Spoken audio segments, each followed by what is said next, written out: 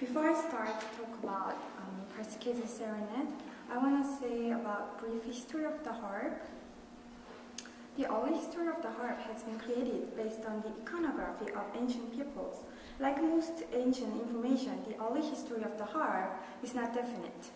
There are many debates amongst historians about the origins of the harp. However, most historians agree that the earliest evidence of the appearance of the harp is around 3300 BCE in ancient Persia, which was Iran, and it is known that Islamic travelers brought the harp as far west as Spain. So I would say personally that origins of the harp is from Middle West and Far West.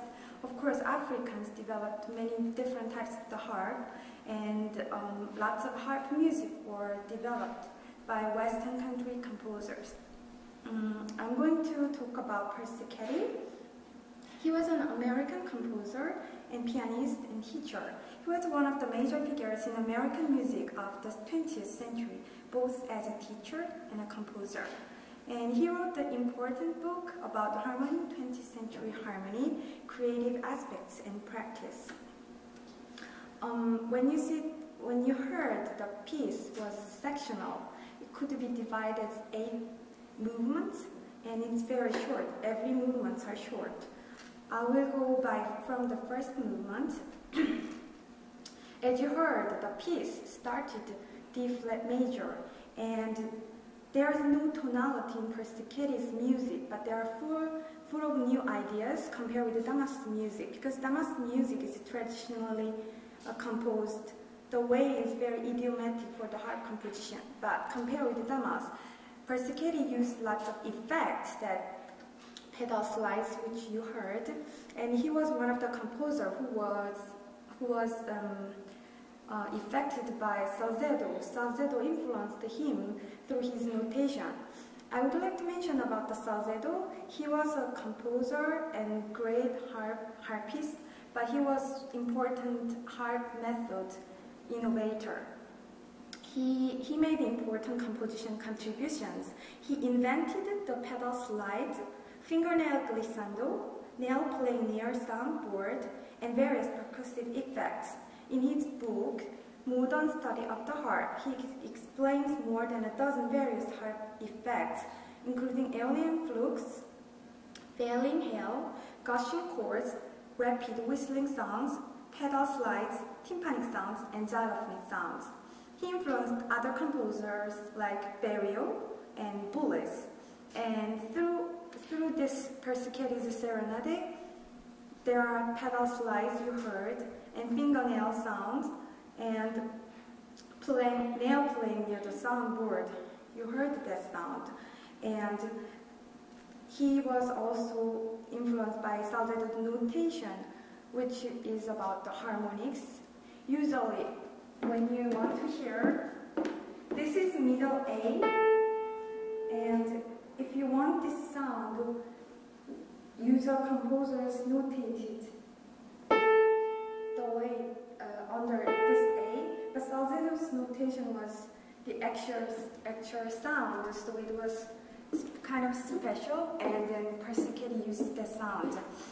In the movement first, first movement, the center is D flat, even there is no tonality, but composer clearly emphasizing D flat that I'm going to show. There are two motives in the first movement. The first motive is with perfect fifth with minor second, and that motive is flute introduced.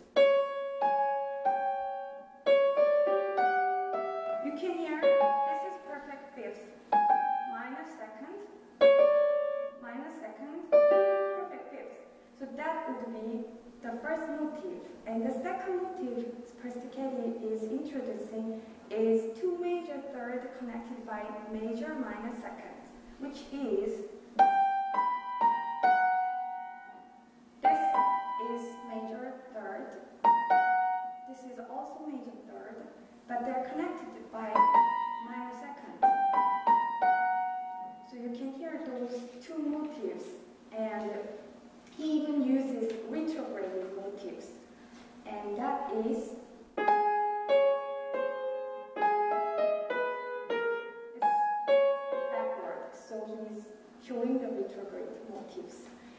he's emphasizing, emphasizing on D flat is very clear. First of all, there are three evidences that I would like to give you.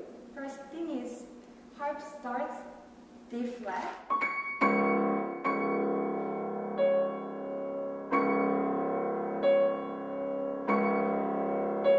You hear that three times, and then there's a D flat pedal tone in the flute part, as you can hear. And also, there is another important line is that harp solo goes a soprano line goes from D flat to D flat.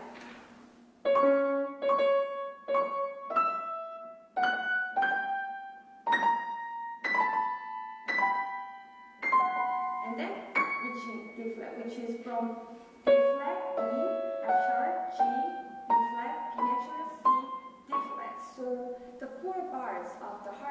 line clearly shows that composer wanted to emphasize the D flat. And that would be those three evidence that he is emphasizing D flat even there is no tonality. The second movement has a clear form, ABA prime, ternary form, and it has very clear structure. But he is emphasizing D flat Dorian mode, which is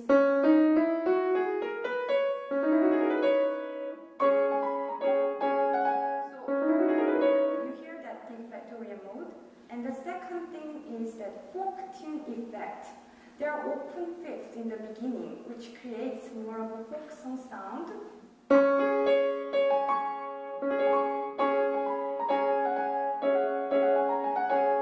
So it's clearly sounds. And then there is a switch the role. Um, harp plays a theme in the beginning, but and then flute accompanies. But later he switched the roles, so flute flute plays the theme and harp accompanies. Like in the solo piano piece, composers can vary the theme through switching the register, like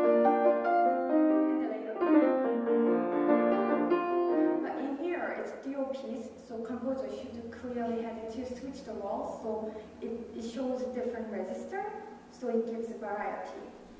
And then movement three, it has a three ABA coda form, and it shows the polytonality, which is very interesting. And Persichetti is emphasizing A, the note A. And there is another important aspect about this movement is the connection of the 4-4, 6-8, 4-8 meter patterns. It seems like for the listener, it changes. But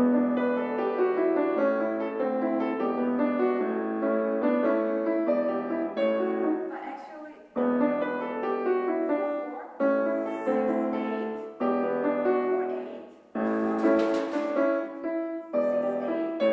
So actually it has regular pattern, which Persichetti is playing with the ears. And there is another interesting aspect is about canonic progression. As you heard, harp plays that but overlaps with the flute part.